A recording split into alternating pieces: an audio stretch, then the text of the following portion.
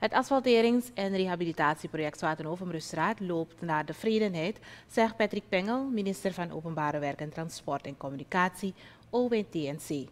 Onze nieuwsdienst heeft gisteren onder andere hierover gesproken met de bewindsman.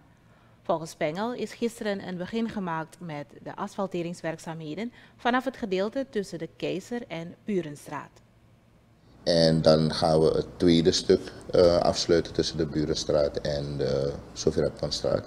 Eigenlijk is het, je kunt het noemen, vak 2A en 2B. Um, ehm, waarna we onze weg dus zullen vervolgen richting de, het molenpad. Uh, dat is een groot project. Uh, tot nu toe gaat het ook goed, omdat er best wel veel overleg is ook met de ondernemers in de Zwartoverbrugstraat. En er wordt uh, zoveel als mogelijk en zo lang als mogelijk gewerkt. Uh, zodat we de projectperiode waar het kan kunnen inkorten. Um, alleen sommige werkzaamheden wordt niet aangeraden om die s'avonds te doen, omdat het toch wel secuur werk is. Vooral het verleggen van leidingen. Uh, de nutsbedrijven die ook hun werkzaamheden moeten verrichten uh, ter plaatse van het project. Uh, dus sommige zaken moeten we wel gewoon zoals het is voorgenomen overdag doen. De bewindsman zegt verder dat het ministerie op Highway bezig is met het Daljan 4-project.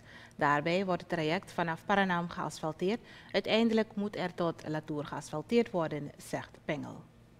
We zijn nu dus bezig met de wegstrekking vanaf La Vigilancia tot, uh, laten we het noemen, Boksel. Um, dus dat loopt wel. Uh, we zijn redelijk op schema. Um, er wordt aan één rijbaan gewerkt en tegelijkertijd wordt een tijdelijke rijbaan aangelegd waar het voormalig rijwielpad was. Uh, dus dat gaat gestadig. Waar we wat meer uitdaging hebben is de corridor tussen de Kennedy Highway en de Afabakaweg. Uh, bij de plantage Hannover, waar we dwars door uh, eigenlijk een swampachtig gebied moeten komen om een verbindingsweg te maken. Deze verbindingsweg gaat ons in de toekomst helpen om verkeer sneller vanuit de airport te verwerken via de Martin Luther Kingweg naar Paramaribo. Omdat we minder kruisingen hebben ten opzichte van het aantal kruisingen van zijwegen, met zijwegen aan de Indira Gandhiweg. Um, dus dat gaat een hele grote verlichting worden voor dat verkeer. Patrick Pengel, minister van Openbare Werken, Transport en Communicatie.